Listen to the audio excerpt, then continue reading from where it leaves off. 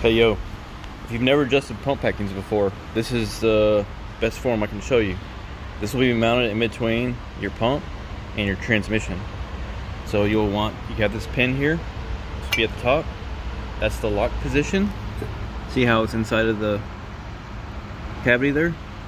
So you'll pull this up, pull the pin up, and then rotate it to where that dowel pin is on the step and then you can adjust your packings. Adjust it in towards the pump to make it tighter, to decrease your drip rate, and then you can go back towards the transmission to loosen it. So there you go. When you get it into the spot, set your cavity, and then turn your pin, and it's in the lock position.